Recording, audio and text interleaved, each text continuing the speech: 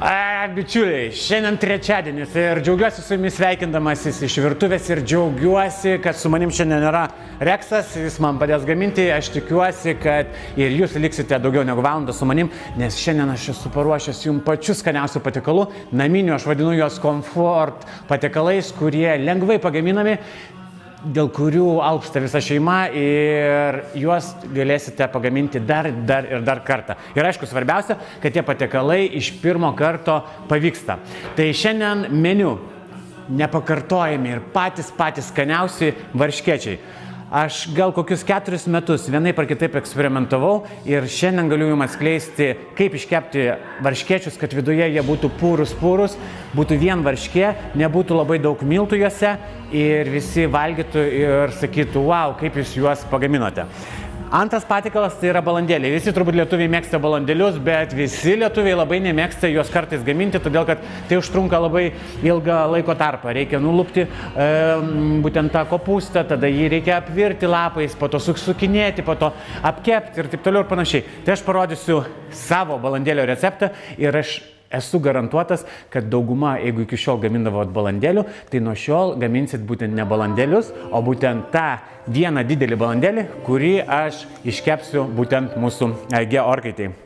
Ir finalui labai skanus putėsių skanėstas, aš dar jį ne iki pabaigos pabaigiau, bet jūs pamatysite, kaip skaniai tą dalyką galėsite pagaminti namuose savo ir savo vaikam arba draugam. Nes girdėjau, kad jau greitai, greitai karantinas pasibaigs arba bus sušvelnintas. Taip, tai bičiuliai, aš Reksą palieku čia, Reksai saugok mano receptus. O jum, bičiuliai, tai ką, noriu dar pasakyti, kad nepamirškite dalyvauti Verdur kepų konkurse. Penki jūsų šiandien laimės būtent šį žurnalą ir jum ką reikia daryti, tai tiesiog Jeigu esate Facebook'o paskyroje Delfija, šerinkit šitą Facebook'o paskyrą, rašykit, kodėl jums patinka šitą laidą ir laikinkit ir vienas iš jūsų šiandien vakare atit, jums atiteks būtent vienam iš jūsų penki žurnalo numeriai. Ir aišku, vienam pačiam pačiam kitą savaitę jau, aš kitos savaitės pabaigoje teiksiu šią AEG orkaitę su garų funkcija. Galėsite eksperimentuoti namuose. Mmm, labai labai. Pavyzdžiui, koldūnus galėsite tvirti orkaitai, arba kiaušinius, arba, pavyzdžiui, patį patį skaniausią surę piragą. Bet, kaip kažkas tai žiūrovų sakė, Alfai, netuščia žodžiauk, o parodyk, ką nors šiandien. Tai nepamirškit man uždavinėti klausimų, kuriuos aš lauksiu savo telefone. Tai aš tenksiuosi juos atsakyti, o jeigu nespėsiu atsakyti, jūs žinote, kad po laidos aš lieku 2 valandas ir juos atsakau. Iškart noriu visų perspėti, kad klausimų būna labai daug ir virš 500, tai E, jau po truputį, po truputį nespėjau visus atsakinėti. Tai jeigu klausimai kažkurie kartosis, tai jūs tiesiog paieškokit atsakymą būtent e, tarp klausimų, nes e, kur rasti laidą, jūs visą laiką galite nueiti į Delfį archyvą, ten visos laidos sugulusios, o jeigu nespėsite užsirašyti arba pamatyti šiandien receptų, tai visą laiką užsukite vmgonline.lt, mūsų internetinę svetainę ir rytoj jūsų jau laukia visi tie receptai. Tai bičiuliai, mano rankos niešti, pradėti ir jums parodyti. Ir mes pradėsime nuo būtent balandėlių. Tai kas mėgsta varškiečius, truputį teks palaukti, nes, bet varškiečius šiandien pagaminsime, pamatysite, aš nemeluosiu, iki 10 minučių. Nereikės net kočioti, įsivaizduojat, keptus varškiečius nereikės kočioti. Taip, tai pradėsime nuo balandėlio. Tai žiūrėkite, kokių man ingredientų šiandien reikės. Taip, tai pirmiausia, kopūstas. Pas mane buvo užsilikęs kopūstas būtent e, raudongužis, bet jūs galite naudoti kopūstą ir paprastą, kokį norit. Čia nesvarbu šitam recepte, kokį kopūstą jūs naudojate. Man tiesiog gal šitam kopūstė gražiau yra dėl to, kad jis ryškesnis yra. Ir ypatingai jeigu darytumėt paprastus balandėlius, tai jie tokie neipatingai gal gražios spalvos bus. Bet e, šį kartą Būtent aš pasirinkau šitą. Jis yra, e, kiek kilogramas jo kainuoja apie 51 euro centą, paprasto kopūsto apie 27 mm, euro centus. Tai galite pasirinkti arba tokį, arba tokį naudoti. Bet man, kai kep, apkepas būtent tas mūsų balandėlis iškeps, pamatysit, kad su šito kopūstu žymiai gražiau atrodo. Bet skoninė prasme bus tas pats. Matot, kaip negailestingai. Jeigu dar netikit, kad čia bus balandėlis, tai aš jūs nuraminsiu ir pamatysit, kad tai ir bus pats skaniausias balandėlis, kurio nereikės nei sukti, nereikės su juo vargti ir galėsit jį valgyti net be bulvių košės arba be bulvių, nes aš tai mėgstu balandėlius su bulvių košė arba su bulviam valgyti, bet jeigu jūs e, prie šito patikolo neturėsit nei bulvių, nei balandė, e, tiksliau, nei bulvių košės, nieko tokio. Taip, ir tada svagūnas. Svagūną irgi naudoju būtent mėlynai, supjaustysiu štai taip, ne ypatingai smulkiai. Jeigu naudosite baltagūžį kopūstą, tai tada imkite įprastą baltos spalvos, kad nenudažytų jum būtent e, mūsų kopūsto, jūsų tiksliau kopūsto spalvos.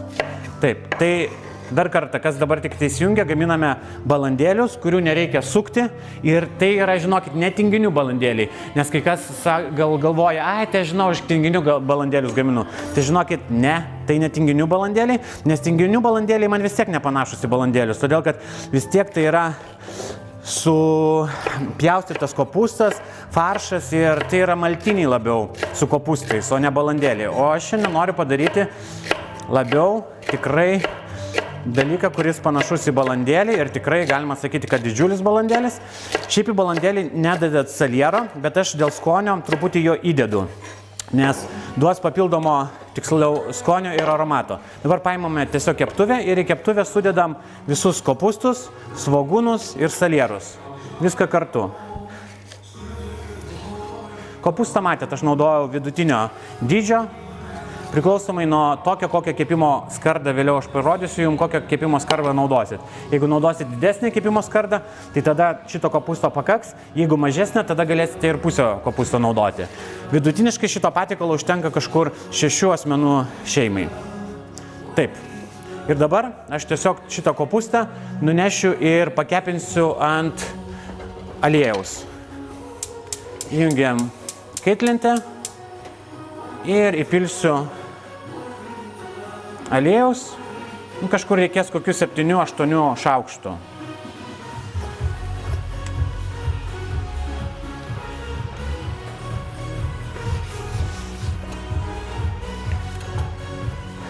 Ir svarbiausias dalykas, ką dabar jums reikėtų žinoti. Svarbiausias dalykas, ką jums dabar reikėtų žinoti, tai yra, kodėl aš šitą dalyką darau. Jūs turbūt žinote, kai vadinasi tušinate kopūstą, išsiskiria labai skanios kopusto, e, skanus eteriniai aliejų kopusto, kai saveikauja būtent kopustas ir svogūnas kartu su aliejumi arba su kitu riebalu ir tada namai pakvimpa tais mm, naminiais troškintais kopustais. Tai aš noriu šitą būtent e, skonį perteikti į mūsų balandėlį. Nežinau, kad dalis jūsų kaip mačiau per apklausas, kad dalis jūsų balandėlį pat gamina ir truputį apkepa keptuviai ir tada tik tai troškina, o dalis jūsų tiesiog netroškina, nieko nedaro. Tai tie, kurie net iš karto deda į puodą, tai žinokite, pabandykite truputį balandėlį apkepti. Bet geriau pabandykite padaryti taip, kaip aš darau šį kartą. Tai yra kopustas, svagūnas, salieras, kepinamas. Mes apkepinsim ir kažkur tai pakepinsim kokias septynias minutės tam, kad įsiskirtų, va, kai namai pradės kvepėti būtent kopūstų keptų, vadinasi, jau mūsų kopūstai bus paruošti. Mes kepinsime iki 10 minučių, kad jie truputį išskleistų būtent savo visas skoninės savybės ir aromatus. Ir tada pamatysite, ką daryti. Tai būkite pasiruošę štai tokią skardą. E, aš ją išklojau sviestiniu popierium, tai galite naudoti apvalę tortinę.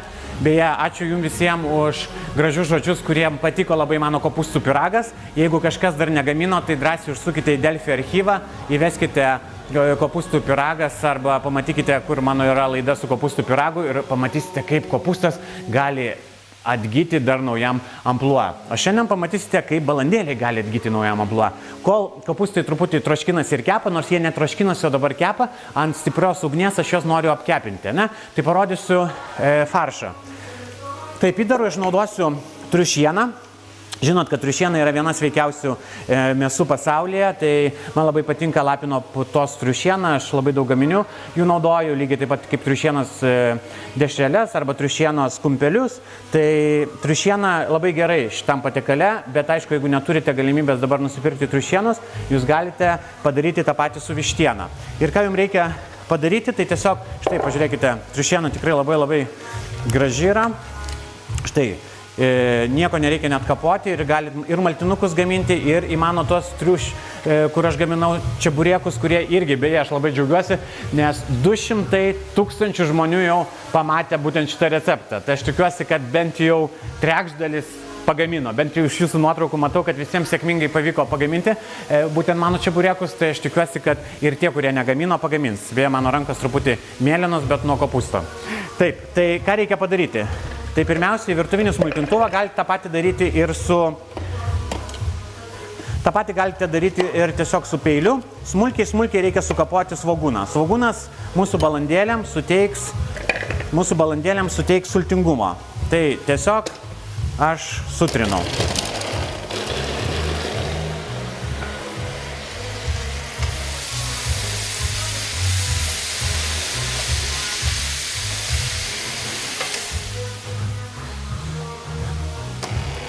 Taip, sutrinam svogūną ir dabar aš tą svogūną sudėsiu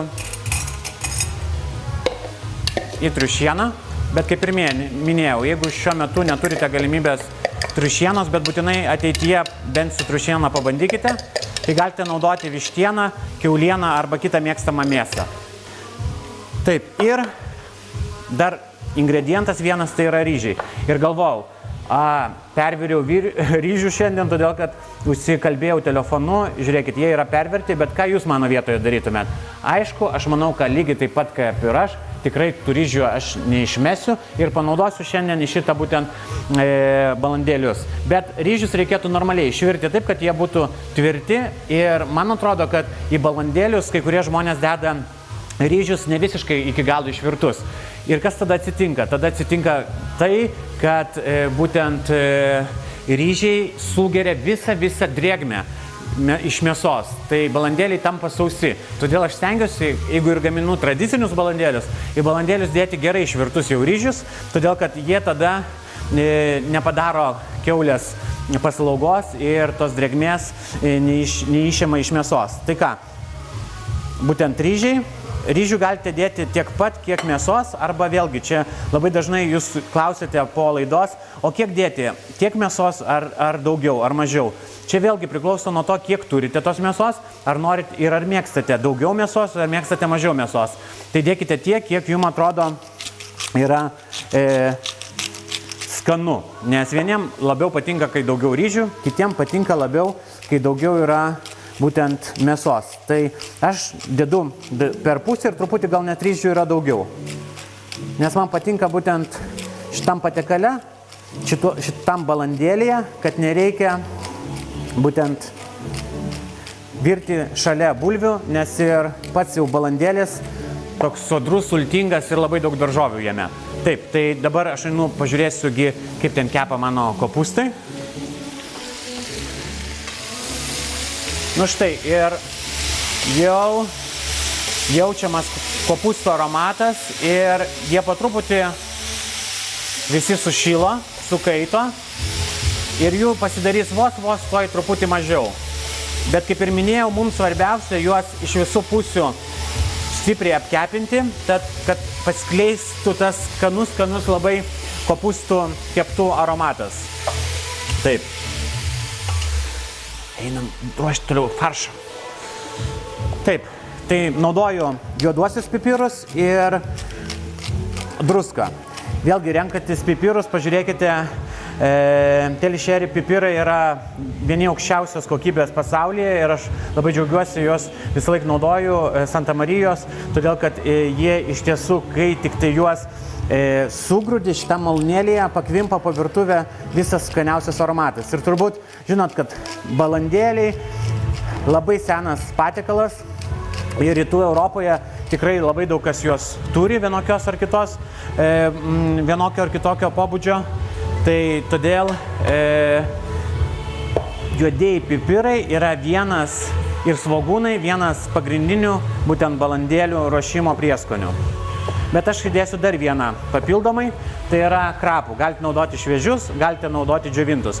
Ir tiesiog su rankom štai taip padarau faršą. Čia labai dar smagu įtarkuoti morką, galite dar įtarkuoti šviežią morką. Jeigu, pavyzdžiui, labai nemėgstate daug kryžių arba mėsos, tai galite ją maišyti truputį ir su morka. Nu va, ir faršas mūsų jau yra paruoštas. Štai.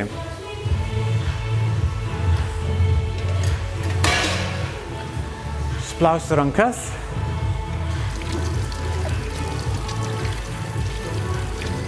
Tai bičiuliai, nepamirškit, kas dabar tik tai mūsų įsijungia. Čia Alfa didysis kulinarinis šou, vienas namuose ir mes gaminame vieną didelį labai skanų balandėlį, kur nereikės labai daug vargti. Ir kitas patikalas bus naminiai, patys puriausi, patys skaniausi, varškė tiesiog dvelkiantis varškečiai. Ir finale putiesiai. Taip. Nu štai, žiūrėkite.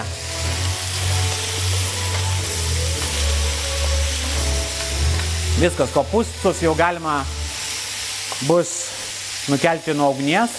Matėte, jie šiek tiek pakeitė savo vos vos spalvą ir visi lengvai dabar apkepti. Ir viskas, mes pasiekėme savo rezultatą, daugiau nieko čia nereikės su jais daryti. Ir aš tiesiog išjungiu ugnį ir dabar parodysiu jums, ką reikės su jais daryti. Paimkite, kad patogu būtų kažkokį tai arba rankšluostuką, arba kaip aš turiu silikoninės pirštinės. Taip. Ir dabar palaukit, dar, dar vienas dalykas, ką noriu parodyti. Galim čia padaryti tą dalyką. Tai yra du labai svarbus ingredientai. Aš prisimenu vaikystėje, mes skirstėme, vaikai skirstėmės vienos mamos dėdavo pomidorų padažą ar kečupą į balandėlius, kitos nedėdavo. Tai aš prisimenu e, su bičiuliu visą laiką džiaugiamės kai valgydavom pas draugus balandėlius, pas tą mamą, kurį įdėdavo. Tai aš pats iš tikrųjų įdedu du šaukštus į kopustus kečupo. Naudokite kečupą tokį, kokį mėgstate. Aš naudoju kečupą, kuriame nėra cukrų. Taip, Ir dar vienas maža, maža paslaptis, tai yra sultinio kubelis. Pasirinkite ekologišką sultinio kubelį, pažiūrėkite, kad nebūtų jokių E621 jame. Ir sultinys būtent kopūstam priduos papildomo skonio ir aromato. Taip ir tiesiog viską išmaišykite. Ir maža gudrybė, bet jau dabar Dabar jeigu pauostytumėt, jau kvepia balandėliais, nes e, pomidorų padažas arba kečiupas susimaišę su pakepintais kopūstais įskiria ypatingą, ypatingą aromatą.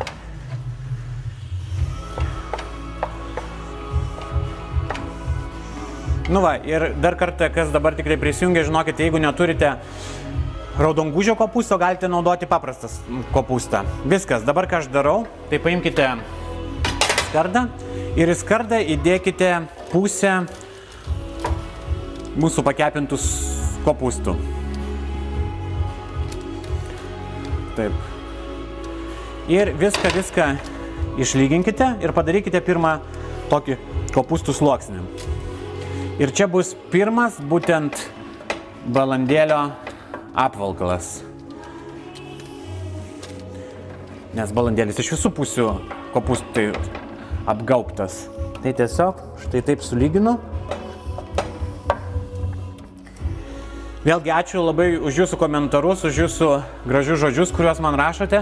Aš visą laiką stengiuosi pagaminti iš tų produktų, kuriuos kiekviena šeima arba kiekvienas lietuvis tikrai turi galimybę nusipirkti arba turėti savo šaliutuvę arba prekybos centre. Taip, ir dabar atnešiu faršą.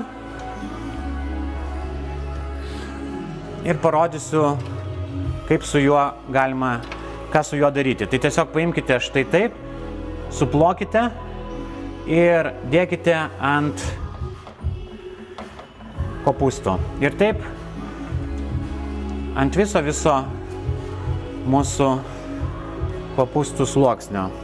Nu ir matot, tai yra žymiai paprasčiau viską daryti, negu jūs suktumėt balandėlius. Pirmiausia, visą laiką dažniausiai apsideginamos rankos, kai balandėlės gaminamos, kai gaminami balandėliai, todėl kad karšti lapai. Ir kartais labai nepatogu juos tikrai gaminti. Tai aš kai pirmą kartą pagaminau šitą apkepą, supratau, kad, nu žinokit, bičiuliai, gal pas kažką tai dar valgysiu balandėlius, bet jau pats tikrai ruošiu visą laiką tik šitą apkepą. Bet vėlgi apkepo aš sakyčiau, nepavadinčiau šito dalyku, todėl kad apkepas turi e, kažkokį tai sūrį, turi kažkokį apkepimo momentą. Mes čia labiau troškinsime, o ne kepsime. Ir todėl aš sakyčiau, kad čia yra tiesiog modernus balandėlis. Taip. Ir nepamirškit, bičiuliai, man uždavinėti klausimų, nes kai tik tai įdėsiu šį apkepą į orkaitę, būtinai juos norėsiu jūs atsakyti. Nu štai, taip paslėpiam visus kopustus. Kaip minėjau, jeigu mėgstate morką, mėgstate prieskoninės žolelės, aš dabar toj dar paimsiu truputį krapų, pabarstysiu, nes krapai labai labai dera su triušiena ir su vištiena. Taip, Ar išplausiu rankas greitai.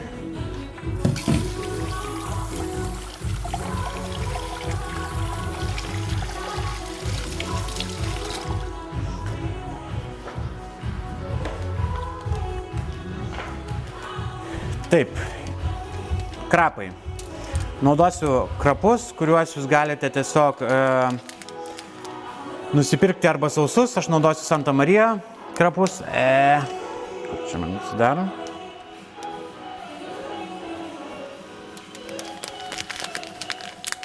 Šlapias mano rankos.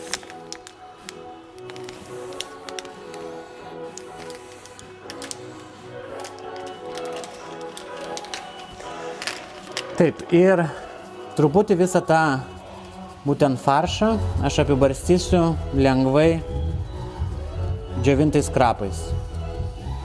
Tai taip. Ir dabar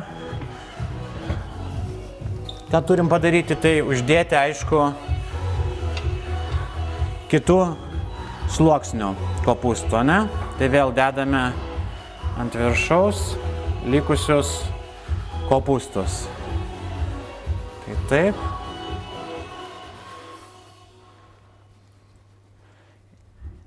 Ir žinokit, nereikės nei vartyti, nei žiūrėti, ar išvyrė ar neišvyrė. Įdėsime viską į orkaitę ir mūsų balandėlis bus paruoštas. Taip, nu vat, sugulė viskas, škirtuvės. Beje, kas uždavinėja klausimus, iš kur, kokie indai, tai žinokite, jeigu pažiūrėsite e, Delfyje Facebook'o įrašus, tai aš visur esu atsakęs, tai tikrai rasite atsakymus. Dėl to, kad kiekvieną kartą laidoje, žinokit, man labai sudėtinga visiems visiems į tą patį klausimą atsakinėti. Tai draugiškai tiesiog pažiūrėkite ir kas jau žino, kur uh, aš juos įsigiju, tai tiesiog parašykite, aš labai būsiu dėkingas visiems, kurie man padeda atsakyti klausimus. Taip, nepamirškite paragauti. Ir dabar labai svarbus ingredientas, tai yra konservuoti pomidorai. Viena skardinė konservuotų pomidorų supjaustytų gabaliukais. Ir dabar aš tiesiog štai juos uždėsiu ant viršaus. Ir sakyčiau, kad tie pomidorai saugos mūsų visą tą apkepą, tiksliau balandėlį nuo išdžiūvimo. Ir aišku, papildomai pomidorai kartu su kopūstais, su ryžiais suteiks skonio. Ir aišku, kai pamatysite, kai apkeps ir grožio, nors man atrodo, kad ir dabar labai yra viskas labai gražiai atrodo ir kaip ir laidos pradžioje minėjau, kodėl aš naudoju šitą kopūstą, todėl kad matot, kiek daug e, iš karto spalvų būna šitam balandėlį, nes jeigu naudotumėt paprastą baltą gužį, viskas būtų gerai, bet tiek spalvų nesulauktume. Ir siūlau visą laiką pomidorus prieš ragaujant, kadangi aš jau žinau, kokie jie yra visą laiką paragauti. Jie neturi būti rūkštus, nes jeigu truputį rūkštus, tai truputį įdėkite visą laiką e, cukraus arba medaus. Nes visi su pomidorais patiekalai vos vos reikalauja saldumo tam, kad dar geriau atsiskleistų būtent pomidoras. Taip, ir dar vienas lietuviškas dalykas, tai yra kokie balandėliai be grėtinės. Aš naudoju riebiausią grėtinę ir tiesiog jūs štai taip ją įdėkite ir mes truputį juo tai sulyginsim. Tai žinot, kur ir minėjau, padažas ant balandėlių yra, kai kas būtent kečupą arba pomidorų padažą maišo su grėtinė, kai kas tiesiog grėtinės uždeda. Tai čiūliai, žinokit, čia yra skonio atominė bomba visai šeimai. Nu ir va dabar tiesiog gražiais judesiais sumaišykite su konservuotais pomidorais.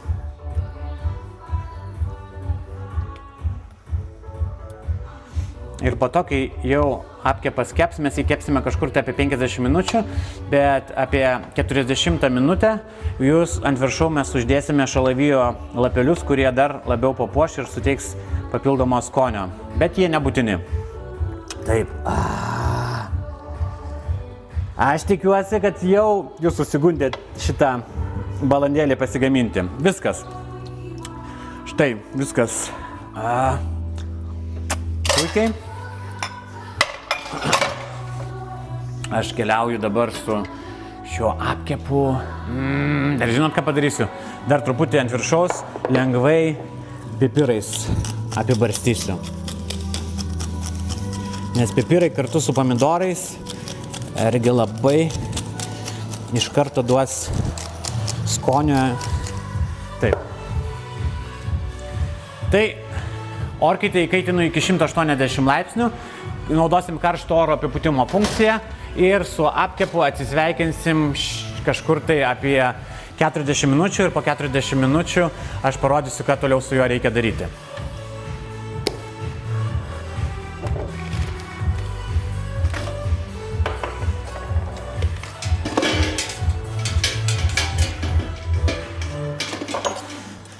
Taip, o tuo metu aš turbūt gal paimsiu savo telefoną ir pabandysiu atsakyti į kelis jūsų klausimus.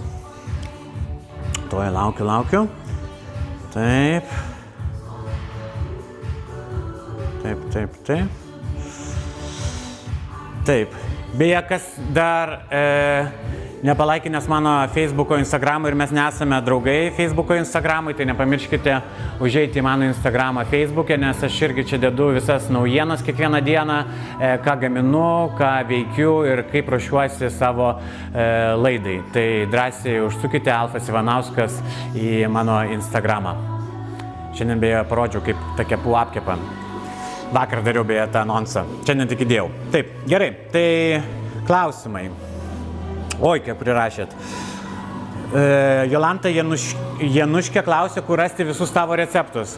Jolanta, kaip ir minėjau, visus receptus galima rasti vmgonline.lt e, būtent svetainėje. Mes kitą dieną juos e, patalpiname su nuotrauko, su visais aprašymais, su visais patarimais. O jeigu norite peržiūrėti dar kartą laidą, tai užėjkite į Delfi TV ir būtent viską Alfa didysis kulinarinis šou ir visas visas archyvas mano studijinių laidų ir visų šitų laidų, kurias filmuoju būtent namuose. Kristinė Meloko klausė, kokios muzikos klausaisi. E, klausausi įvairios, žinokit, muzikos, bet muzikinis fonas, beje, kažkas tai rašė, kad praeitą e, laidą kažkam tai trukdė muzikinis fonas, tai šį kartą patildinau. Tai muzikinį foną galėsiu po to numesti nuorodą.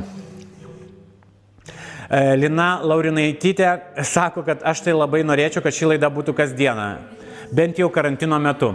Ačiū, Lina, bet žinokit, ruoštis laidai, jeigu aš jums parodyčiau, kaip įvyksta ruošimas, tai reikia, vadinasi, dirbti 24 valandas per parą, nes reikia išbandyti visus receptus, reikia įtilpti tam tikrą laiką, reikia pažiūrėti, kad viskas gautųsi ir pavyktų, pažiūrėti, kuo mažiau, kad ingredientų naudoti. Tai gal kažkada tai, bet žinokite, kad e, labai daug laidų mano, jūs galite tiek peržiūrėti, dabar jau yra virš turbūt 150 ar 200 laidų Delfi archyve, tai manau drąsiai kiekvieną dieną vis skirtingą laidą, nebūtinai tiesioginę. Taip, Lina Laurinaitytė, gaminam, gaminam čia buriekus. Tai ačiū labai, aš tikiuosi, kad jie jums labai labai patiko. Tai aš netrukus pratęsiu būtent klausimą, e, klausimą atsakymų vakarą, bet nepamirškite, bičiuliai, kad jūs penki šiandien vakare galėsite laimėti šiuos penkis mano e, Verdur kepų žurnalo numerius. Ką jums reikia daryti, tai šerinkite šitą, dalinkitės nuorodą Delfi laidą, kad ant jūsų sienos pamatytų draugai ir irgi galėtų pamatyti šią laidą, e, laikinkite ir rašykite, kodėl jums patinka šitą laidą. Ir aišku, šitą orkaitę kažkam tai atiteks jau kitą savaitę. Būtent jeigu laikinsit, šerinsit ir rašysit, kodėl patinka mano laida. O dabar, bičiuliai, varškiečiai. Ką žinot apie varškiečius? Varškiečiai yra tas dalykas, kad arba kepti, arba virti. Šiandien mes kalbėsime apie varškiečius, kurie yra kepti. Aš labiau mėgstu keptus varškiečius, bet tiek gyvenime esu susidūręs, kadangi e, konsultuoju daugiau negu 54 restoranus, e, visą laiką visi klausia, kaip pagaminti pačius pačius skaniausius varškiečius, kad iš pirmo karto pavyktų ir kad juose būtų tikrai varškė. O aš susiduriu su tuo, kad karts nuo karto e, lankausi restoranuose ir matau, kad varškės varškiečiuose neipatingai daug. Tie varškiečiai primena arba blinelius, arba spurgas. Tai visiems laikam mes turime suprasti, kad varškiečiai yra varškiečiai. Ir varškiečiai turi, varškiečiuose turi dominuoti būtent varškė, o ne miltai ir ne kiaušinis. Ir dažnas iš mūsų, labai dažnas daro tą klaidą, kad bijo, kad jeigu įdėsime mažai miltų, tai neiškeps. Arba bijome, kad jeigu neįdėsime kiaušinio, tai tada iš kažkaip tai ištištė varškiečiai. Tai bičiuliai, mano laida tam ir yra, kad aš visus bandymus galėčiau padaryti ir jum pranešti, kaip tos varškiečius iškepti taip, kad galima būtų panaudoti tik tai 2 šaukštus miltų. Įsivaizduokit, pusę kilogramo varškės ir 2 šaukštai miltų. Neįtikėtina kartais, ne atrodo, ir reikės tik vieno kiaušinio. Nes dažniausiai receptuose, ką aš matau, ypatingai naršant internete, kad varškiečius gamina taip. 250 gramų varškės ir vienas kiaušinis. Ne. Žinokit, pusę kilogramo varškės ir vienas kiaušinis. Užtenka tik vieno kiaušinio, kad gautųsi purys skanimasė ir varškė susijungtų į vieną gražų blinelį. Ir tik dviejų šaukštų miltų. Jeigu netikit, ateikit parodysiu. Taip, mums reikės varškės, galite naudoti iš pakelio varškę, kur yra jinai jau tokia pertrinta, ne? Kai švelni pertrinta, arba galite naudoti varškę, kurią galite nusipirkti maišelėse, kuri yra rupi. Tai jeigu naudosite rupę varškę, tai jūs tiesiog ją sutrinkite smulkiai tam, kad jinai taptų šiaip tokia. Kuo jinai bus tokia ištrinta labiau, tuo švelnesni varškiečiai e, jum e, ant stalo bus e, patikti. Tai šita varškė irgi labai tinka, bet sakau, prieš tai arba per setelį ją sutrinkite, arba su virtuviniu smulkintuvu sutrinkite, kad graži būtų vientisa masė. Bet tik tai varškė daugiau nieko papildomai ją nedėkite. Dar vienas dalykas tai yra kiaušinis ir miltai. Ir aišku, šiek tiek druskos. Aš pasūdau šiek tiek varškę. Ir dabar, bičiuliai, ką aš jums noriu pasakyti. Varškiečiai dažniausiai būna saldus. Bet aš noriu jums šiandien pagaminti dviejus skirtingus varškiečius ir įrodyti, kad varškiečiai gali būti pats skaniausias patikalas visų tų, kas mėgsta, pavyzdžiui, surius patikalus, surius apkepus, e, mėgsta surius blinelius valgyti su šoninė, su lašiša, su e, grėtinė, bet be uogų, be kažkokių tai cukrų ir visų kitų dalykų. Ir žinot, kaip būna, šeimose labai dažnai taip ir vyksta, kad vieni sako, mama arba tėti iškep varškiečių, o jūsų vyras arba jūsų žmona sako, ne, ne, aš varškiečių nenoriu, nes saldu, kažką noriu pusryčiam labiau suraus. Tai šiandien receptas visai gražiai dideliai šeimai, kurie vieni mėgsta saldžius, kiti mėgsta surius. Ir jūs neįsivaizduojate. Aš Keliam draugam esu parodęs būtent šitą receptą ir pavaišinės ir visi sako, aš negaliu patikėti, kad varškiečiai, su varškiečiais taip tinka pomidorai, agurkai, lašiša, kaparėliai, grėtinė, grūdėta varškė. Tai šiandien parodysiu, kaip tai padaryti savo namuose, bet pradžioj išmokime gaminti e, varškiečiam tešlą. Tai va, tai kur mano šaukštas? Mano šaukštas, šaukštas, šaukštas. Sunaudojau šaukštus. Taip, tai pasūdėm. Cukraus aš čia į šitos varškiečius nededu, nes pamatysite, kaip mes galime įsisukti, dėl to, kad mm, nepamirškite, kad vieni varškiečiai bus tie, kurie mėgsta vaikai ir nuo, kas mėgsta saldžiai, o visus, visus kitus varškiečius mes padarysime su mm, labai skaniais kitais pagardais. Taip, dabar ką aš noriu Jums papasakoti apie kiaušinį. Aš į varškiečius kiaušinį visą laiką mušu atskirai indelį ir indelį tiesiog su šakute išplaku. Nes pavyzdžiui, jeigu dabar bus žmonių, kurie sakys, kad o jeigu aš vienas gyvenu arba viena gyvenu, arba mes tik tai dviesi esame ir mums per daug. Iš šitos masės varškiečių išeis kažkur tai 10 arba 8, priklausomai kokio dydžio darysite. Tai, e,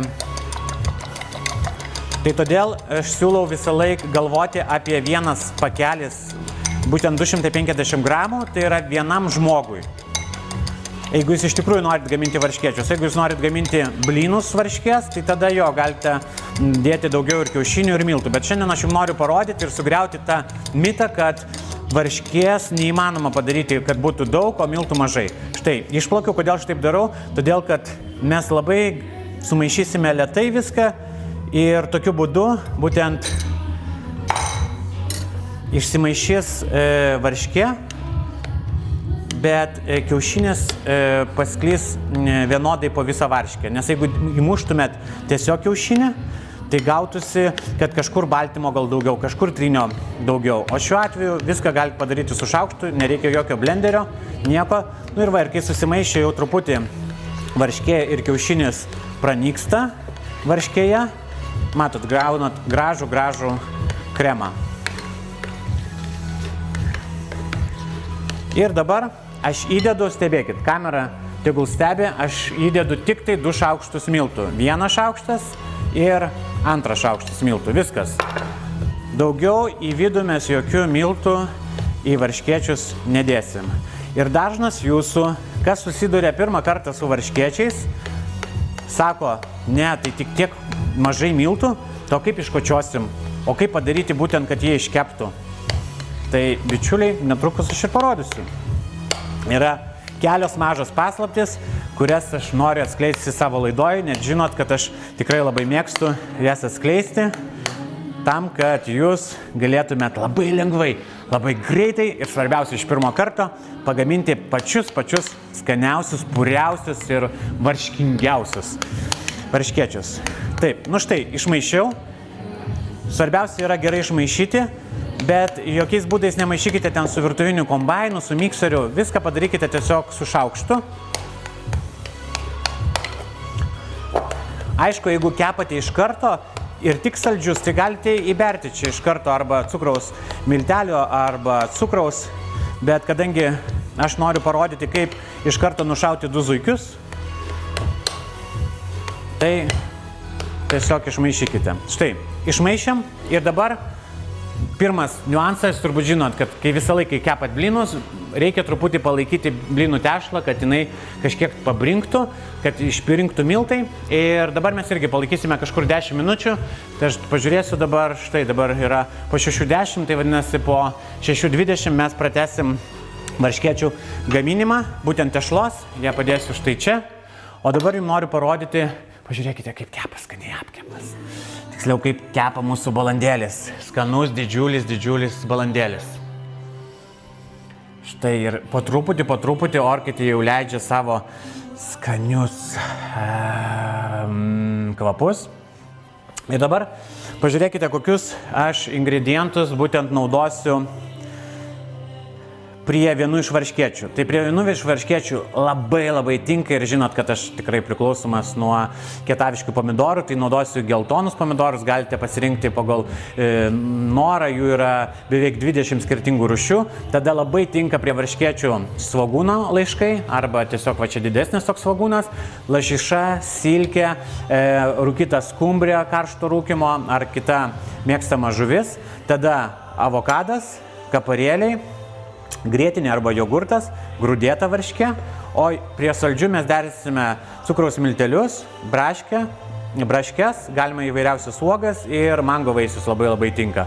Tai tiesiog e, eksperimentuokite ir pamatysite, ir netrukus pamatysite, kaip aš tą dalyką darau. ir tikiuosi, kad pasikartosite savo namuose.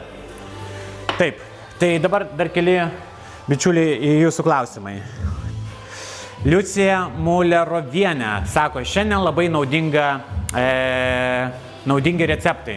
Liucija, aš tikiuosi, kad jums labai patiks ir tikrai savo virtuvėje savaitgalį pagaminsite pačius skaniausius varškiečius ir patys skaniausia, manau, kad balandėlių jūs pavadinkit. Aš noriu, kad turbūt vienas iš jūsų, kas įdomiausiai pavadins mano šitą balandėlį, ar tai balandėlių piragas, ar tai yra apkepas, ar dar kažkas, tai papildomai aš įteiksiu savo kulinarinę knygą dovanų. Tai būtinai, aišku, laikinkit, šerinkit ir vienam iš jūsų, kas tai padarys, irgi papildomai dar įteiksiu knygą. E, Vida Indriunaitė klausė, o jeigu neturiu, neturiu trintuvės, tai trintuvės jūs turite omeny būtent virtuvinio smulkintuvo Electrolux. Tai jeigu jūs neturite, tai jūs tiesiog sukapokite e, svagūnus tiesiog su ranka ir viskas labai smulkiai. Arba galite sutarkuoti per burokinę tarką. Evelina Sin kad per puodas ar čia keramikinis indas, kur galima įsigyti. Evelina, aš jau ir sakiau, jeigu kitas laidas pažiūrėsite Delfio, aš esu jau e, nuorodą būtent internetinės parduotuvės nurodęs, kur tie visi balti indai yra. Taip, e, jau ne, ne vienas žmogus irgi klausė ir šiandien. Pasigaminsiu labai sudominu, kaip tik turiu triušienos, bet man lab, nelabai gaunas skaniai triušieną pagaminti. Tai labai liuks receptas. Tikrai, jeigu gera triušiena, tai aš sakau, gal Kičenmi tiesiog e, triušieną lapino puto pasirinkit. Tai Benas Lyris visus mėgstamiausius patikalus į vieną laidą sudėjai, dar tik burokėlius sriubos reikia. Tai burokėlius sriuba jau buvo, tai jo sudėjau ir aš šiandien galvojau, ar skirstyti tuos patikalus, ar vienoje laidoje ir balandėlius, ir varškiečius parodyti. Tai galvoju, ai, parodysiu viską vienoj laidoj. Tai tęsiu jūsų klausimus, o dabar e, noriu parodyti, kaip pasigaminti tuos putėsius. Tai nepamirškit, kad mūsų jau balandėlis kepa, varškiečiai, truputį varškiečių tiesa ilsisi, o dabar aš tada noriu jums parodyti, kaip jūs galite pasigaminti labai skanius, labai lengvai putėsius. Tai tiesiog čia yra šaldytos avietės, aš jau prieš dvi valandas jas išėmiau. Ir išaldytas avietės aš įdėsiu kažkur tai 3 šaukštus cukraus. Bet vėlgi, pažiūrėkite, vienos avietės yra, vienos avietės yra rūkštesnės, kitos avietės yra netokios rūkščios. Tai tiesiog turi būti avietės saldžiarūkštės. Ir tiesiog su šaukštu, štai taip aš jas patrinu. Galite naudoti bet kurias kitas uogas arba vaisius. Tik tai turėkite omeny, kad jeigu ten naudosit kokį nors mango vaisių, tai jį su, su rankom, e, su šaukštu sutrinti bus sudėtinga. Ir tada cukraus reikėtų e, dėti mažiau arba iš vis nedėti, todėl kad pats mangas yra labai e, saldus. Čia yra būtent, aš labai mėgstu būtent putėsius kai naudojamos uogos ir ypatingai tuoj prasidės braškių sezonas, tai va šitos putiesius aš norėsiu pateikti su e, šviežiamis braškėmis. Tai štai, taip ištrinat, tiesiog labai paprastai, su rankom ištrinat ir dabar ką reikia padaryti, tai atskirti kiaušinio trynius nuo baltymo. Praeitoj laidoj kažką, taip, tai baltymas keliauja čia, du kiaušinio baltymus čia turim įdėti. Baltymas keliauja čia, Trynį palieksime čia, galėsime, kaip ir sakiau, omletą iškepti. Taip. Kažkas tai praeitoje laidoje sakė, jūs naudojat žalę mm, būtent trynį į tą tiramisų kremą. Taip, žinokit, aš naudoju, bet jeigu kokybiški kiaušiniai, jeigu juos nupla, nuplovę esat, tai viskas yra tvarkoje, žinokit, nieko baisaus nesitiks, lygiai taip pat kaip ir šitam patekale. E, tiramisu yra pasaulinio lygio desertas, kur gamina labai daug kas, visa Italija, tai žinokit, nieko baisaus nebus. Ir dabar ką, į virtuvinį būtent su šita šluotelė aš dedu avietę sutrintą su cukrumi ir du kiaušinio baltymus. Aviečių čia buvo kažkur apie 200-250 gramų. Ir įjungiam ir pamirštam keliom, apie tai keliom minutėm.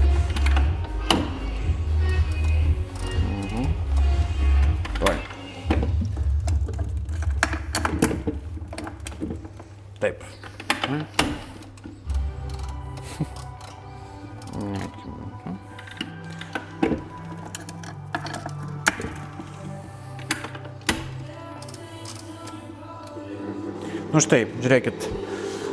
Svarbiausia, kai mm, virtuvinį smulkintuvą arba šiaip e, kombainą surinkinėja, tai pažiūrėkite, ar gerai viskas įstatyta. nes yra apsaugos, jeigu blogai kažką įstatysi, tai jis neveiks. Ir matot, turiu švieselę ir dabar viską pamirštame, kaip ir minėjau, apie e, kelias minutės, kol pamatysime viską išplaktą. Dabar paimsiu kažkur tai tris želė žalatinos lapelius. Gali naudoti smulkę žalatiną, galite naudoti nesmulkę. Ir užmerksiu tiesiog į vandenį, kad jinai šiek tiek išbrinktų. Ne?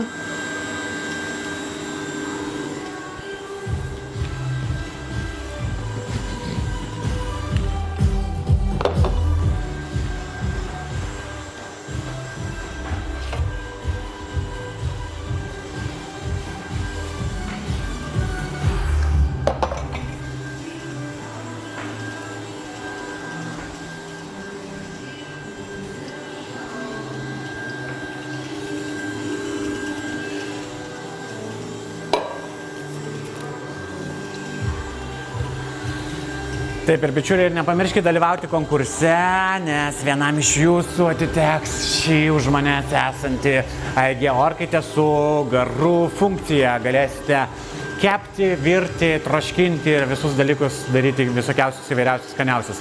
Dabar matot, žiūrėkit, dabar svarbus momentas, kada matot, kad baltymai kartu su e, šviežiamis, tiksliau šaldytomis avietėmis ir cukromis tampa labai gražia putėsių mase. Lauksime, kol dar, dar pastandės tie putėsiai. Ir čia turite pažiūrėti, kaip skaniai kepa, būtent aš atidarysiu net orkaitę, štai, pažiūrėkit. A, štai, kaip skaniai kepa. Ir, ir, ir, ir tas. Mm, ir nepamirškite, kad aš laukiu jūsų, kaip jūs pavadinsit būtent šitą mano tvarinį balandėlį. Taip.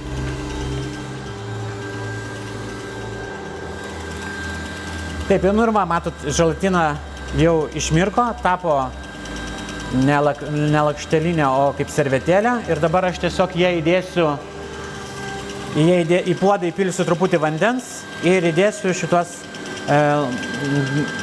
lapelius žalatinos ir pakaitinsiu viską, kad ištirptų. Jūs tą patį galite padaryti ir su e, žalatina, kuri yra būtent e, smulki. Tai dabar einam, paliekam mūsų kombainą čia, o einame prie viriklės ir viską pakaitinsiu.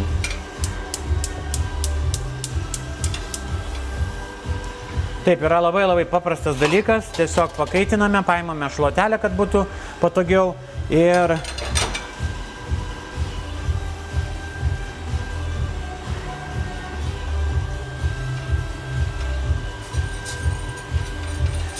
Želatina mums padės, pagelbės, kad tie putėsiai išliktų kuo ilgiau standus.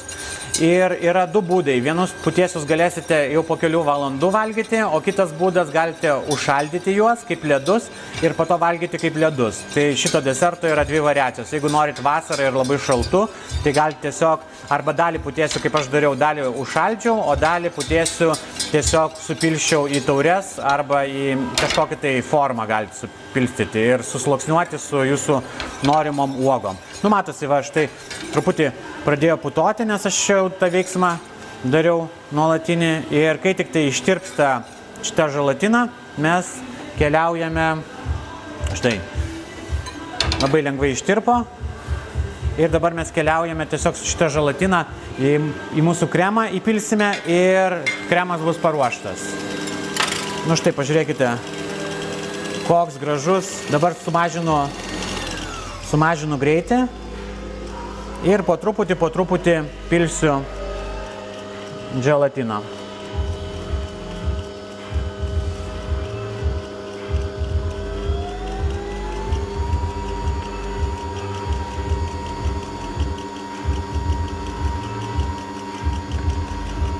Kiek dėti žalatinos, aš dedu 3 lapelius, bet pasiskaitykite būtent ant e, žalatinos e, pakuotės.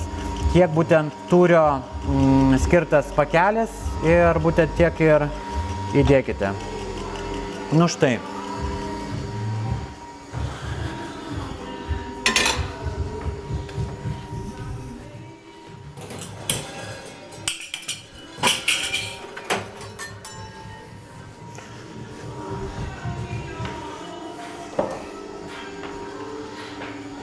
Tai paruošiu, paruošiu dvi taures.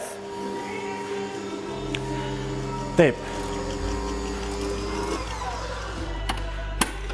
Viskas, štai pažiūrėkite kokio skanumo. A, mes turime gražų putėsių kremą. Aišku, turit paragauti, galite čia įtarkuoti apelsino arba citrinos žievelės, bet tas kremas turi būti su lengva tokia rūkštelė. Nepadarykite per daug saldų, nes per, nebent jeigu labai mėgstate labai saldžiai.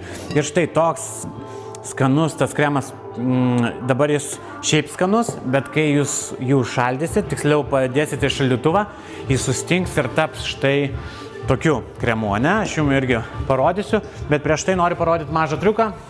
Štai, aš naudosiu granolą. Man labai patinka šita būtent e, Paulins granola, todėl kad jinai yra kaip naminė. Yra įvairiausių skonių, tai šiandien naudosiu su mm, gabaliukais.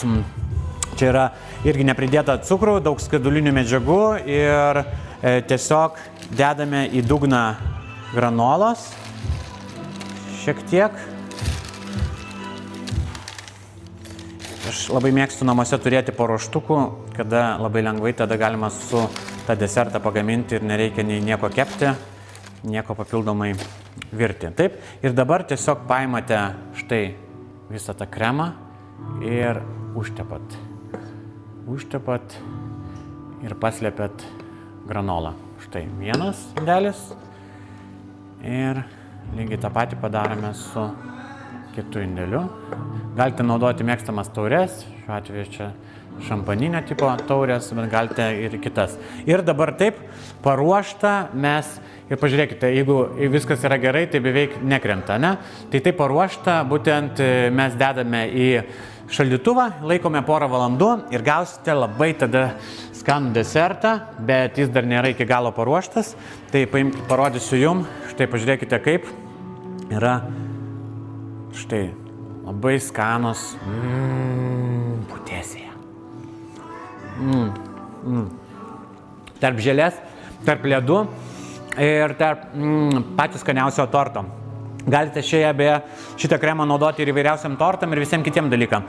Ir matot, aš dvi taurės užpildžiau, dar dvi taurės užpildžiau ir visą likusi supilčiau į plastikinį indelį ir tiesiog pastatyčiau į šaldytuvą, tiksliau į šaldiklį ir turėsite po to, e, kada jau jokių saldumynų neturėsite namuose, atsidarysite indelį ir valgysite su šaukštu. Taip.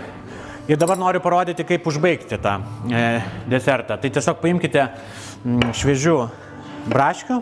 Galite naudoti įvairiausias uogas. Mes jau nekartą kalbėjome su jumis, kad aš naudoju būtent tokias, kokios man labiausiai patinka pagal mano e, skonio receptorius, bet jūs galite pasinaudoti savo sumanimais arba šeimos norais ir įpjaustyti mėgstamų uogų, vaisių ar kitų dalykų. Ir kaip ir minėjau, jūs galite daryti dviejų sluoksnių. Vieną sluoksnį galite daryti, pažiūrėjau, vietinį, kitą daryti mango arba kitą sluoksnį e, kokiu nors e, mėlynių.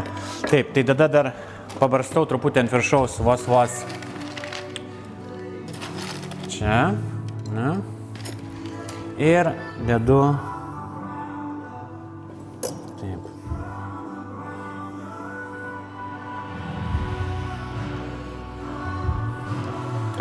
Tai paprastas kaip 2x2 desertas, kurį per kelias sekundės galite pasigaminti patys. Ant viršaus dar mėtų aš paimsiu šakelę ir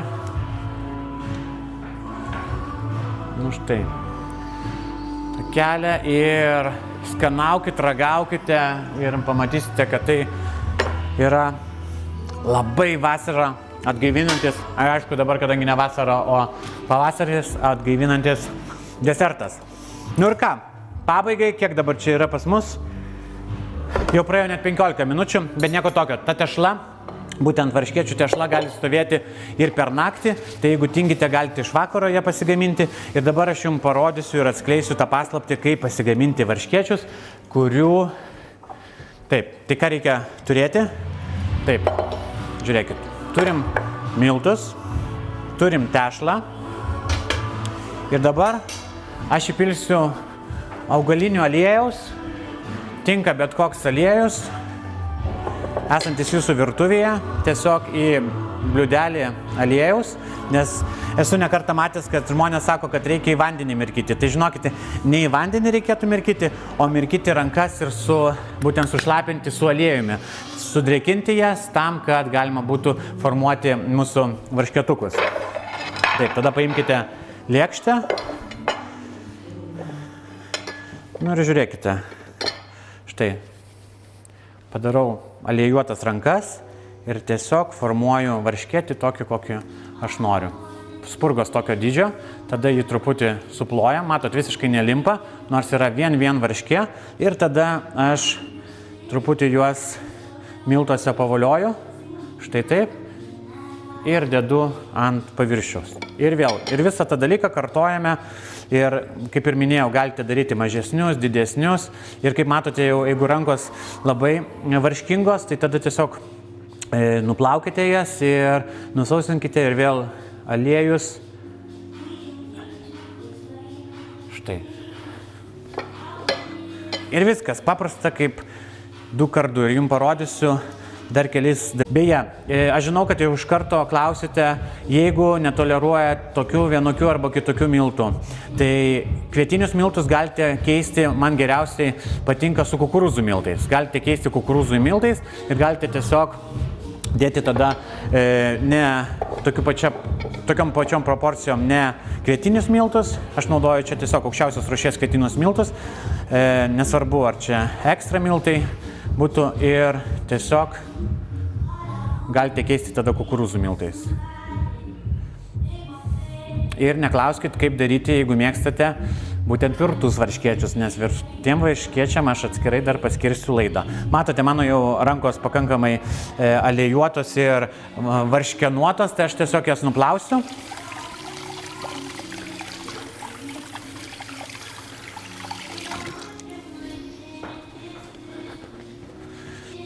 Ir tada vėl aliejuoju ir darau varškiečius.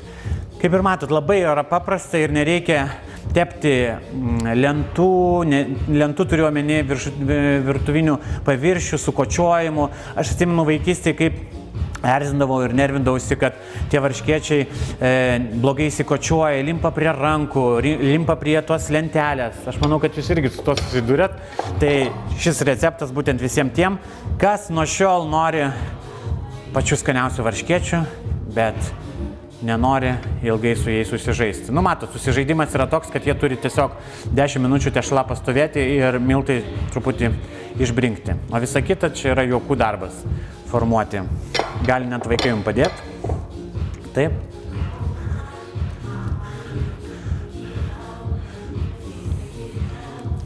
Aišku, galite į tos varškiečius papildomai įdėti ir citrinos e, žievelės, įtarkuoti cinamono, vanilinio cukraus, bet kaip ir minėjau, čia yra bazė, varškiečių bazė, iš kurios aš norėsiu jums parodyti greitai, kaip juos e, galima dviem būdais tiesiog padaryti namuose su dviem skirtingais pagardais.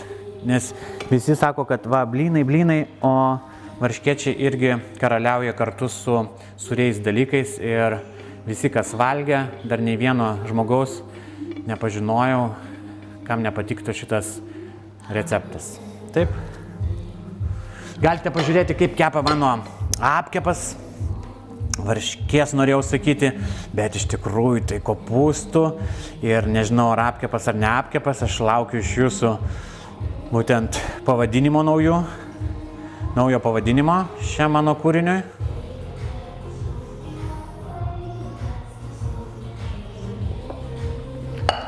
Taip, viskas. Dabar keliaujame prie kaitlentės. Paimame keptuvę.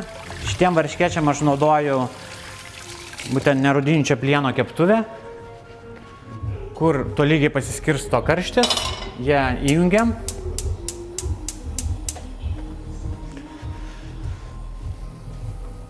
Tada pasiruoškite, kur dėti varškiečius, būtent, e, kad nu, nusausinti juos nuo e, aliejaus. Pasiruošiam šakutę, mentelę, su kuo būtų patogu vartyti.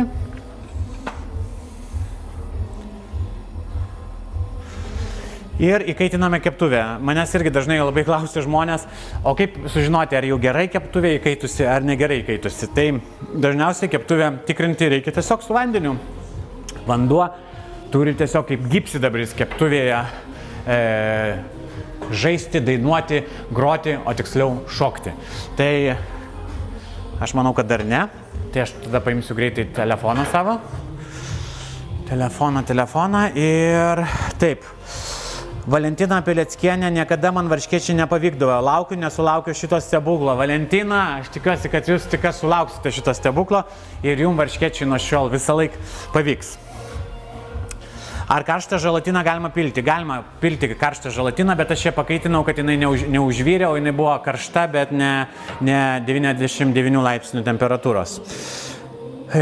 Virginija Dam vakarykščiai sparneliai pavyko, jie superiniai, vienas kilogramas Tai ačiū labai. E, kas nematė laidos pirmadienį, žinokit, kad aš marinavau vištienos parnelius, tiksliau juos skaninau, e, bananų. Ir bananas labai puikus ingredientas, kad e, tie vištienos parneliai būtų patys patys skaniausi. Tai kas nematė laidos, tai eikite į archyvą Delfio ir galėsite pamatyti. Nu, žiūrim dabar, ar mūsų keptuvė jau paruošta ir pažiūrėkite a, tiesiog.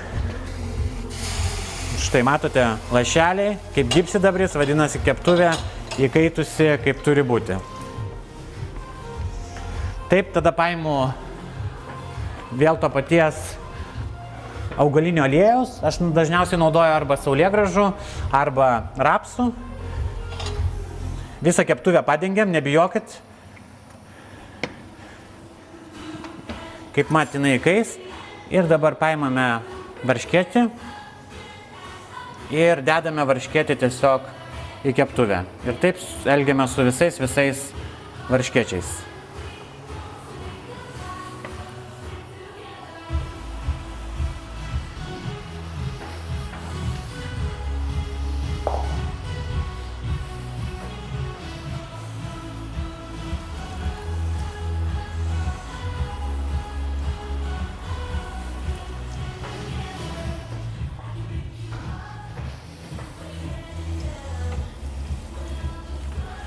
Neperdėkite per daug varškėčių keptuvę, tam, kad jie nesuliptų ir kad puikiai keptų.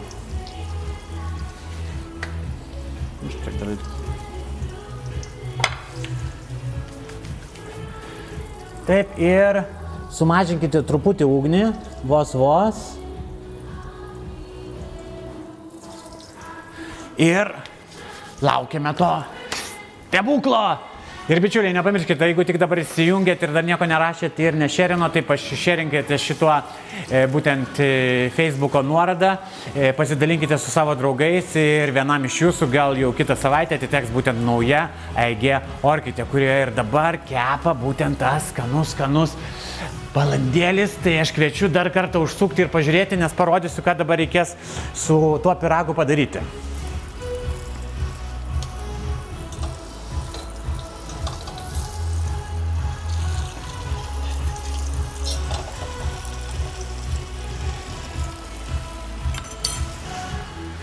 Taip. Taip, bičiuliai, dabar klausimas yra dar jūsų, žinau, kad tikrai uždavinėsit, kiek kepti varškiečius. Vidutiniškai varškiečius aš kepu iš vienos ir iš kitos pusės apie dvi minutės, bet geriausia kepti vieną minutę, apversti, dar apversti ir dar apversti. Tai vadinasi, kažkur tai po vieną minutę jie turi, štai žiūrėkite, jie turi apkepti. Vai. Tai nepamirškit, kad naudojame viduje tik tai du šaukštus miltų.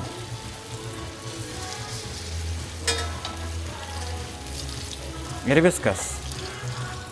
Taip, nesvarbiausia ne per didelės ugnies. Ir varškiečius dar, kaip ir minėjau, reikės apversti dar vieną kartą ir dar vieną kartą. Ir viskas. Paprasti, lengvi ir tiesiog tobulai pagaminami varškiečiai kiekvieno jūsų namuose padarys mažą šventę ir aš tikiuosi, kad nuo šiol varškiečius jūs gaminsite žymiai, žymiai dažniau. Taip, gerai, dar kol kepa čia, mano tie gražuoliai, žiūrėsiu, kad nekaitintų, ne? Tai taip. Aišku, svarbiausia varškiečių nesudegint. Tai todėl aš siūlau visą laiką rinktis kokybišką keptuvę ir neipatingai ploną. Ir galima šiuo atveju taip užkeptus varškiečius dėti, jeigu, pažiūrėjau, didesnį kiekį kepat, tai gali dėti ant skardos ir dar jorkite 180 laipsnių temperatūroje apie kokias 5-7 minutės ir jie baigs tada orkite kepti ir nereikės vartyti antrą kartą būtent. O dabar aš dar kartą apversiu juos. Taip.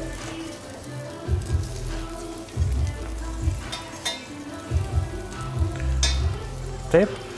Taip, ir dar keli jūsų klausimai. Vyda Ubaraitė Plinitikienė, ar būtina dėti sodos ar kepimo miltelį? Jokiais būdais, jokiais būdais, jokių kepimo miltelių, jokių sodų į varškiečius nieks nededa.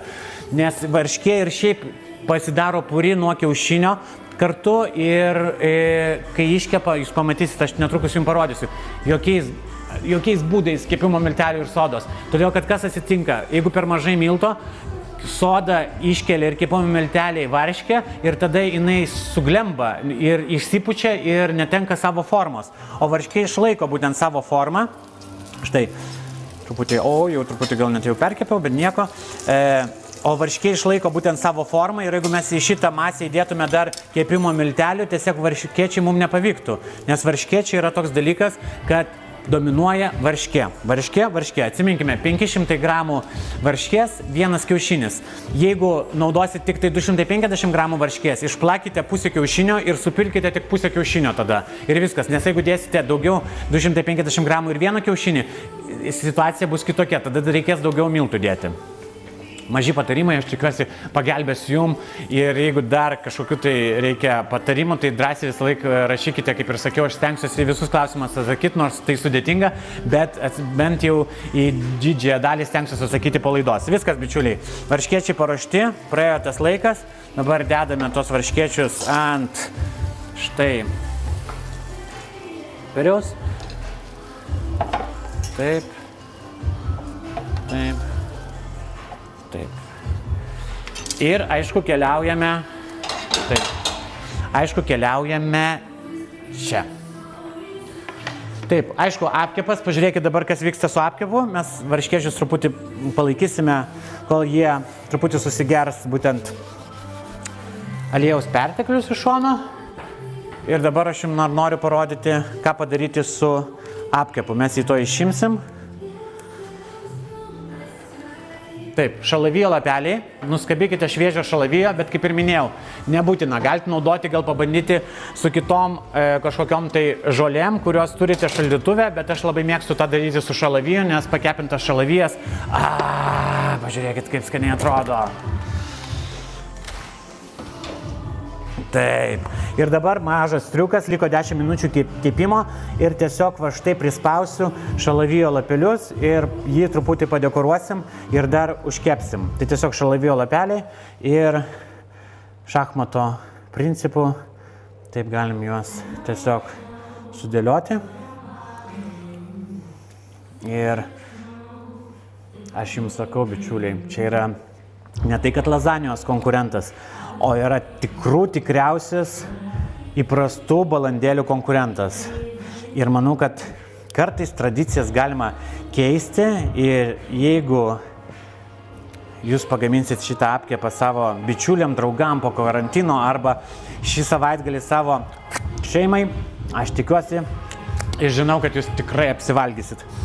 Svarbiausia šitą apkepą valgyti šilta, bet turbūt žinot, kad apkepas geriausias ir skaniausias, nesvarbu ar tai būtų lazanė ar kitas apkepas, jį reikėtų, kad jis pastovėtų bent 10 minučių, kad lengviau būtų jį pjaustyti tada. Ir jokiais būdais aš nesiūlyčiau kitą dieną jo valgyti, nors viskas tvarkoja, aš valgiau jį pats kitą dieną, jis labai skanus kitą dieną yra, bet vis tiek tą pirmą dieną. Mm, jis būna, būna pats skaniausias. Taip, viskas. Šitos dabar šalavijų lapelis papuoštus balandėlius aš dedu į būtent. Ir matėte, aš nenaudoju jokio sūrio papildomai, nieko nenaudoju, dėl to, kad tai yra balandėlis, o ne balandėlių apkepas ir ne kažkoks tai kitas apkepas, nes esu matęs, kad daro ir su sūriu, bet aš manau, kad balandėliai su sūriu, nu, kažkas tai ne taip. Ir dar turėkite omeny, kad sojų faršą lygiai taip pat galite naudoti balandėlius. O dabar aš noriu, aišku, jum parodyti, noriu jum parodyti patį vidų tų varškiečių.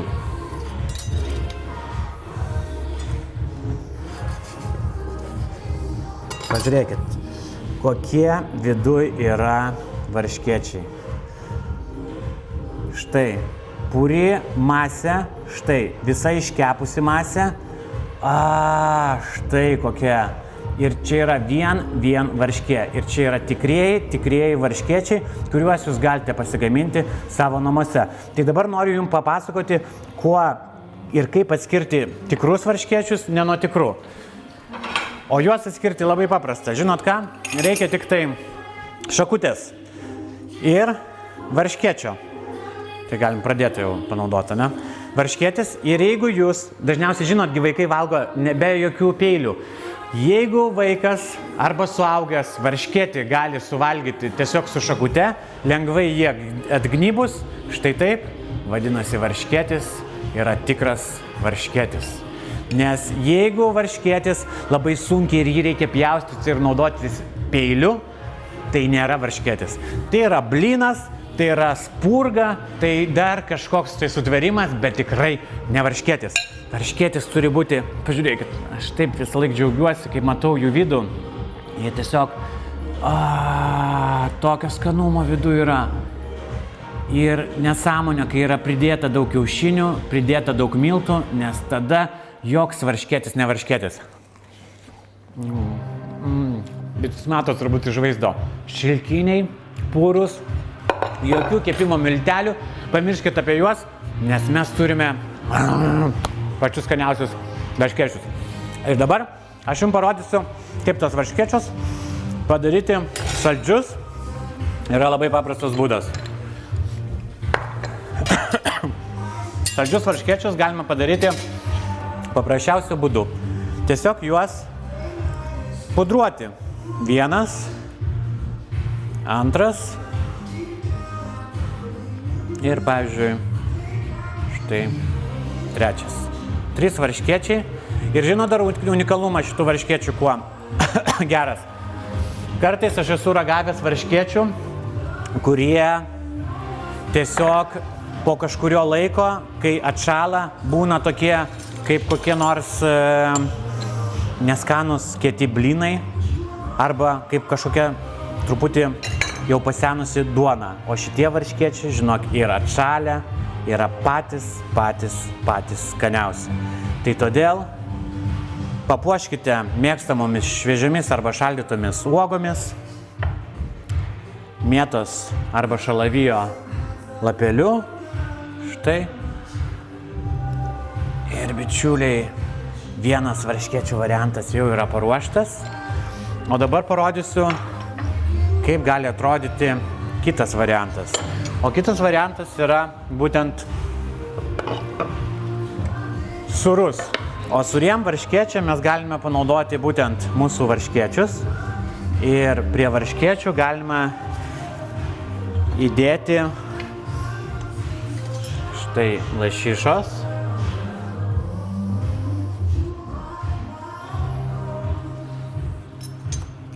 Tuomet aš papjaustysiu dar šiek tiek svogūno. Ir aš noriu, ypatingai noriu visų suaugusių, gal vaikam tai bus neįprasta ir gal vaikam ruoškite būtent saldžius, bet būtent visi suaugusiai, pabandykite, prašau, paragauti būtent varškiečių su lašiša arba, pavyzdžiui, su silkė arba su kita e, parūkyta žuvim, nes pamatysite, tai yra kažkas tai atradimas Kai aš pirmą kartą pabandžiau padaryti šitą patiekalą, pats nusistebėjau, kad nu tikrai kaip skaniai tinka. Ir tada dedu šiek tiek grūdėtos varškės, galite naudoti papildomai ir grietinę. Tada svagūnų laiškų. Svagūnai labai tinka, žinokit, būtinai e, svagūnus čia panaudokite, nes svagūnai lygiai taip pat kaip ir pomidorai, tai ketaviškių skaniausi pomidorai, juos irgi susmulkinkite kaip salotas. Ir irgi dėsiu šalia būtent blinelio.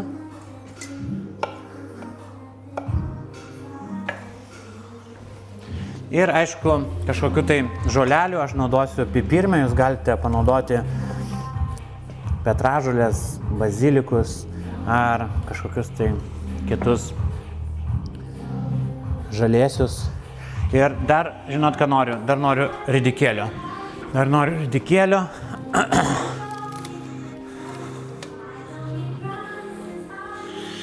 Taip, ir dar štai čia galim įdėti dar ridikėlį. Ir viskas, bičiuliai, paprasta kaip du kartu. Vieni varškiečiai yra su lašiša grūdėta varškė arba grėtinė su šviežiais pomidorais, ridikėliais ir svagūnais. Ir kiti e, būtent yra su cukraus pudra, uogomis arba kitam, kitais mėgstamais jūsų pagardais. Da, da, da, da. Ir viskas. Nors atrodo, kad mes tik pradėjome laidą, bet su jumis jau po truputį, truputį turėčiau atsisveikinti. Bet aišku, aš manau, kad jūs jau patikėjote, man net nereikia ragauti, kad būtent varškiečiai kartu su lašiša ir su jogurtu arba su grūdėta varškė arba su vokadu šalia yra pats pats skaniausias dalykas ir ne tik pusryčiam.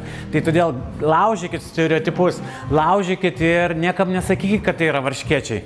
Pirmiausia, tegul žmogus paragauja ir pasako, kas čia per patys skaniausi kažkokie tai blynai, kas čia tokio per švelnumo įsikūnymas.